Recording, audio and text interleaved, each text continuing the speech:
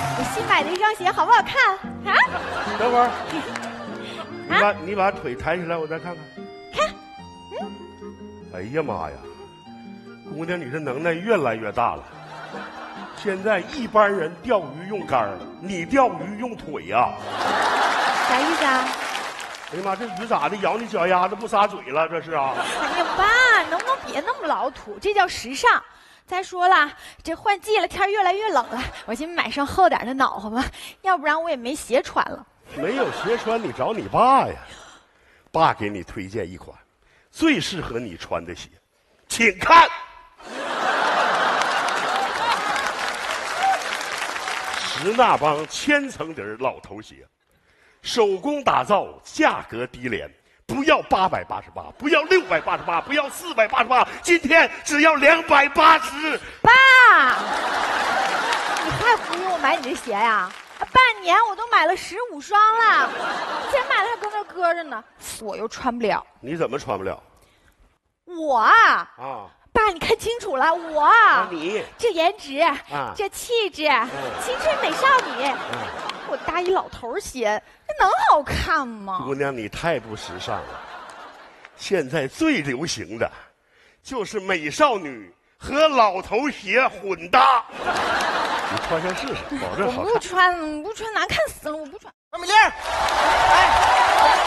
来，小倩儿啊，倩儿，干啥呀？咋的了？哎，倩儿啊，啊，你越长越招人稀罕了。范爷爷，哎，让我猜一下，你是不是想卖我鞋？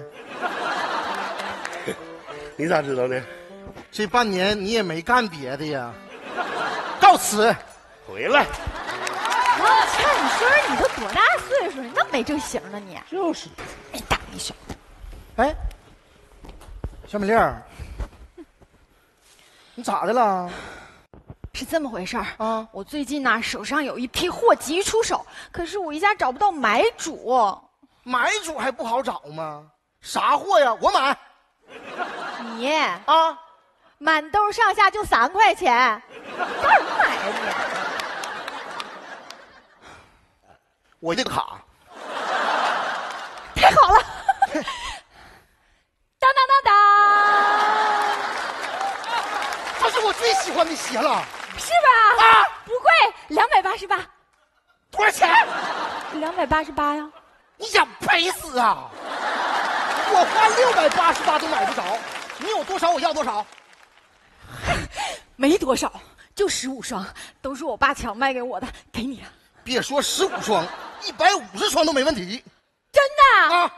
那我找我爸再进点货去。小美玲，啊，咱可不能做一锤子买卖，是不？也是哈。哎，但说好了，这十五双你是不是肯定要了？啊，都要了。那你就是我的大客户了。那你说，咱俩谈这么一大笔生意，是不是得换个地儿谈？去哪儿啊？跟我走。哎，我是大客户，你说去哪就跟你去哪呀？你爱来不来？哎，等我会儿啊！这幸福来的太突然了，哎我去了！哎呀，师弟呀、快进屋，快点的！嫂子，你说说，这也太巧了，咋就在这儿碰着你了呢？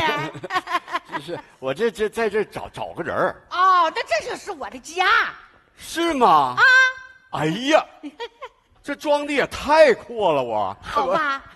啥时候搬来的？两年多了呗。你说一打搬到这儿啊，再也没见着你 是，呃，我得了点病。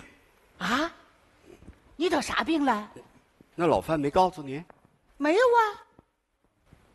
这家伙，算把我忘得死死的了。不可能！俺家老范那当年拜你爸为师，是不是？你哥俩好的像一个人似的，吃的是一锅饭，住的是一个床，他能把你忘了吗？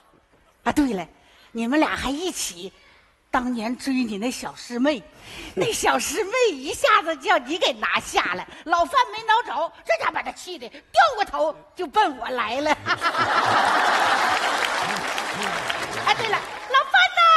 哎，你你别喊他，别喊他，你要喊他，我马上就走啊！回来，回来，回来！挺大老爷们小心眼儿的，我都不在乎。你看你还，老范，快出来看看谁来了！哎，我看看谁来了？来，你看看谁来了，请看。师弟，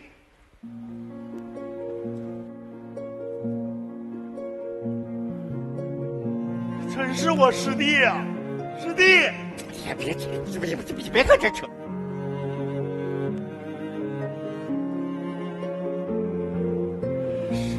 师弟，真的是你吗？我不是我，我是我的模仿秀。真没想到咱哥俩还能在这儿看见。咋的？你还想在坟头上看呐？当初大夫说你得那个病，说是一发病了就昏迷不醒，就跟个植物人儿一样。我让你失望了，我从植物人儿变成动物人儿了。师弟，我知道，我知道你有病，什么事儿都不明白。可是我想你，我总想时不时的就想给你发个微信。发啥微信呢？我要知道你这么惦记我，我早应该给你托个梦。哎呦，行行行行行，你说你俩唠的这啥嗑啊？给我照的迷迷瞪瞪的。师弟，快坐快坐，请坐请坐，来。你说你哥俩哈、一见面就掐，这到底是为了啥呀？你你你听他的，老范，咋回事啊？半年前，他来电话让我陪他去医院去看个病，结果到医院一诊断，医生说他得了一种非常非常严重的病。大夫告诉我说，你得了这病啊，就后半生就躺在床上喘气儿吧。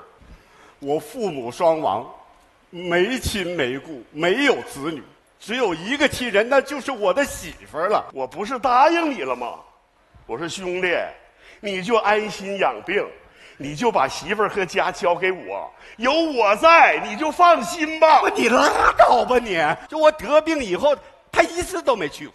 老饭头啊，老饭头啊，你真不是人呐！啊，那师弟躺在床上昏迷不醒，你说那个家就一个女人顶门过日子，得有多少困难呢？你咋就不帮他呢？啊，你咋真不是误的？哎呀真不是误的，真哎呀，那我去又不对，不去也不对，那这到底为啥呀？因为你不是物，我是个人，你老让我是个物干啥呀你？还知道你是人吗？